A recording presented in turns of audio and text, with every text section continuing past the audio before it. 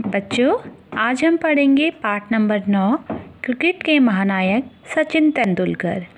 वैसे तो हम सभी परिचित हैं सचिन तेंदुलकर से कि वो क्रिकेट से संबंधित हैं और उन्होंने कितने अच्छे ढंग से क्रिकेट खेला और भारत का नाम विश्व में अग्रणी किया। लेकिन आप क्रिकेट के अलावा भी अन्य खिलाड़ियों के बारे में पढ़ेंगे और जानने का प्रयास करेंगे कि उन्होंने देश के लिए क्या क्या किया है। चलिए पाठ शुरू करते हैं। देश के सर्वोच्च नागरिक सम्मान, भारत रत्न से सम्मानित, भारत के एकमात्र खिलाड़ी सचिन तेंदुलकर ने यद्यपि क्रिकेट को सदा के लिए अलविदा कह दिया है, किंतु आज भी सचिन तेंदुलकर का नाम सुनते ही बच्चे, बूढ़े, जवान सभी के चेहरे खिल उठते हैं। क्रिकेट की चर्चा हो और सचिन का नाम ना आए, ऐसा संभव नहीं। सचिन और क्रिकेट प्राय माना को एक दूसरे का प्राय मान लिया गया है।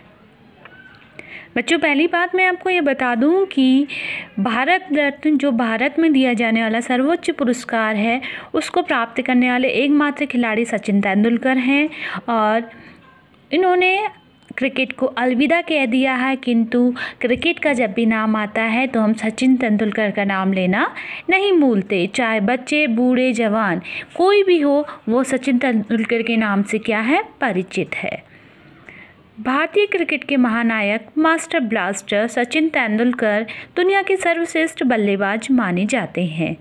बच्चों, आपको एक बात और भी बता दूँ, जैसे आप लोगों को निक नेम होते हैं, वैसे ही सचिन तेंदुलकर को उनके उत्कृष्ट प्रदर्शन के लिए मास्टर ब्लास्टर के नाम से भी जाना जाता है। और ये दुनिया के सर्वश्रेष्ठ बल्लेबाज माने जाते हैं। उनकी शानदार तकनीक और चमत्कारिक बल्लेबाजी को देखकर लोग आश्चर्यचकित रह जाते हैं। भारत क्या दुनिया भर के क्रिकेट प्रेमी उनकी बल्लेबाजी का नज़ारा देखने को उत्सुक रहते हैं? हाँ एक बात यहाँ ये भी जान लीजिए बच्चों कि सचिन तेंदुलकर से जितने ज़्यादा आप परिचित हैं, विश्व का हर बच्चा उनसे परिचित है। क्यों? क्योंकि वह इतने उत्कृष्ट बल्लेबाज थे कि उनका नाम सुनते ही हर जगह एक उत्साह, एक उमंग दौड़ जाती है। लिटिल मास्टर सचिन का जन्म 24 अप्रैल 1973 को मुंबई में हुआ। एक नाम देखिए, पहला नाम उनको मास्टर ब्लास्टर पढ़ा हमने, दूसरा नाम उनको दिया गया है लिटिल मास्टर, जिनका जन्म 24 अप्रैल 1973 को कहाँ पे हुआ था? मुंबई में। और इनके पिता प्रोफेसर रमेश तेंदुलकर मुंबई के कीर्ति कॉलेज में मराठी पढ़ाते थे और माँ रजनी कोठारी भारतीय जीवन बीमा निगम में कार्यरत थी। तो यहाँ पे इनके माता पिता के विषय में बताया गया है कि पिताजी क्या थे? प्रोफेसर और माता जी इनकी जी भारतीय जीवन बीमा निगम एल जिसे हम कहते हैं, में कार्यरत थी। सचिन अपने भाई बहनों में सबसे छोटे थे।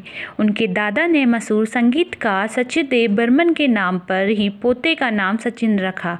देखिए यहाँ पे कितनी आपको अच्छी बात जानने को मिली है कि सचिन का नाम संगीतकार सचिन देव बर्मन के नाम पर रखा गया है और किसने रखा? उनके दादा ने। शायद इसलिए क्रिकेट और परिवार के अलावा सचिन को संगीत सबसे अधिक पसंद है। यहाँ पे बता दूँ मैं आपको, सचिन क्रिकेट से ही नहीं, उसके अलावा वो संगीत से भी प्रेम करते थे।